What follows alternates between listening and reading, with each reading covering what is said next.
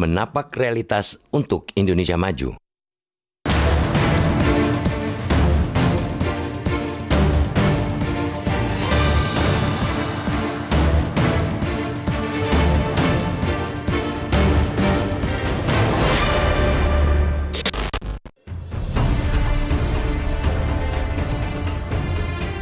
Peringatan 75 tahun Indonesia Merdeka pada hari ini berbeda dengan tahun-tahun sebelumnya.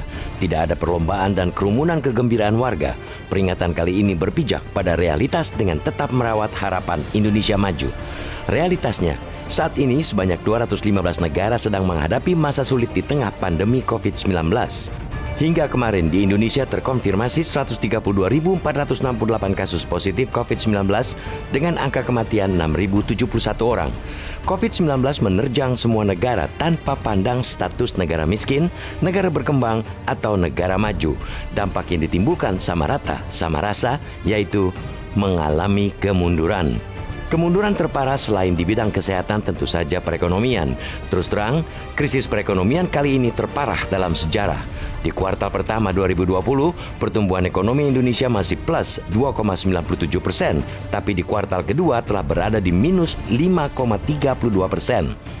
Harus tegas dikatakan, kemunduran yang dialami saat ini bukan untuk diratapi, Sebaliknya, sebagaimana pidato kenegaraan Presiden Joko Widodo pada 14 Agustus, krisis ini harus menjadi peluang dan momentum untuk mengejar ketertinggalan. Melihat peluang dan momentum di tengah krisis sesungguhnya milik orang-orang yang selalu bersyukur dan optimistis, bukan milik mereka yang selalu menyalahkan negara. Bukankah syukur dan optimistis itu menjadi modal sosial negara ini saat dimerdekakan? Hmm? Roh pantang menyerah dan merawat mimpi besar tentang Indonesia maju sudah dibangun oleh para pendiri negara. Kita yang saat ini hanya meneruskannya mestinya tidak pernah patah. Modal sosial untuk terus merawat mimpi besar Indonesia maju, sadar atau tidak sadar, sudah lahir di tengah pandemi COVID-19. Solidaritas membantu satu sama lain tumbuh subur di tengah-tengah masyarakat. Semangat gotong royong muncul di mana-mana. Tidak kalah pentingnya ialah negara hadir pada saat rakyat terhimpit. Kehadiran nyata negara ialah mengalokasikan belanja perlindungan sosial, kesehatan, insentif untuk UMKM, dan stimulus 695,2 triliun rupiah Meski demikian, jujur pula dikatakan pengelolaan dana stimulus itu masih jauh dari harapan. Eloknya bila hari ini dijadikan momentum untuk menata ulang semangat berbangsa dan bernegara yang diletakkan di atas fondasi gotong royong. Meminjam analogi Presiden Jokowi, kita melakukan restart komputer kebangsaan, menyeting ulang semua sistem kehidupan sosial dan ekonomi.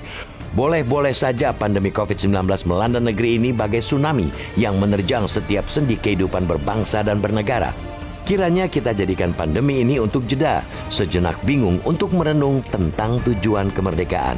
Kemerdekaan yang diraih dengan mengorbankan jiwa dan raga itu bukanlah tujuan.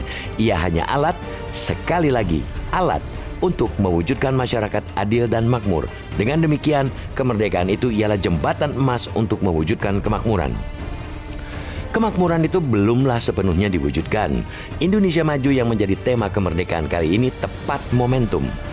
Disebut tepat karena inilah kesempatan untuk bermimpi hingga jadi nyata dan kesempatan untuk berkarya tanpa batas.